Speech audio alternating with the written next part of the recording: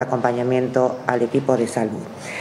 Eh, hemos quedado, han quedado turnos disponibles el fin de semana, así que dado que este avance en la vacunación de 45-40 se ha hecho de una forma muy rápida, es que hemos decidido con todo eh, el equipo eh, poder avanzar sobre la campaña de vacunación y bajar entre 40 a 45 años. A partir de ahora al mediodía se va a habilitar el link, a partir de las 12 del mediodía se va a habilitar el link para que puedan sacar turnos personas eh, de 40 años a 44, porque ya 45 entraron en el grupo etario anterior.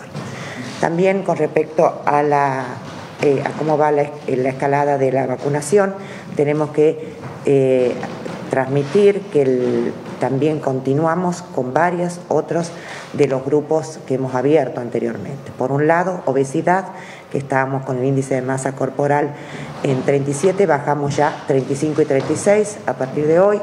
También lo que es discapacidad, se siguen inscribiendo con turnos programados para darle todo el, tiempo necesario y no en los nodos habituales, sino en nodos especiales de discapacidad. Hemos abierto dos, uno en la Junta de Discapacidad y otro en la Caja Popular de Ahorro.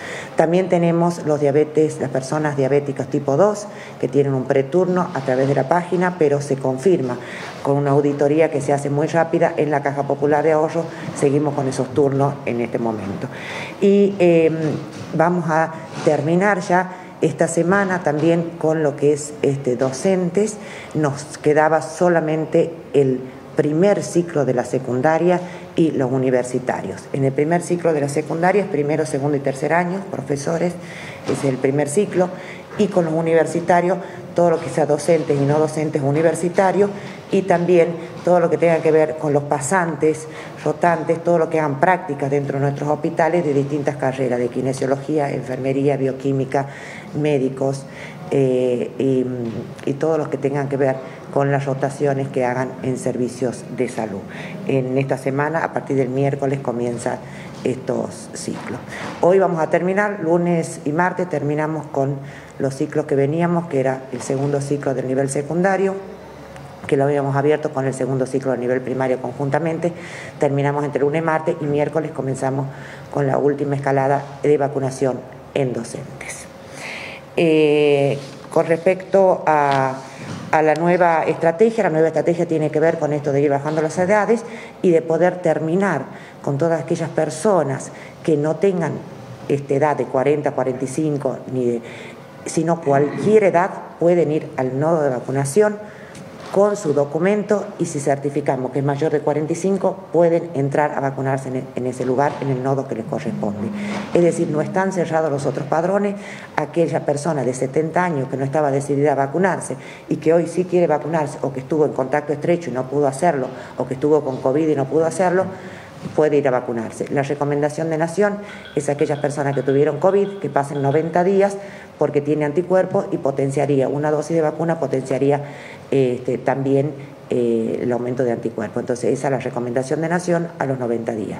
Nosotros creemos que es muy importante eh, hacer esta vacunación en forma rápida antes de que eh, venga el invierno y estamos convencidos que en la medida que tenemos las dosis las vamos a ir colocando.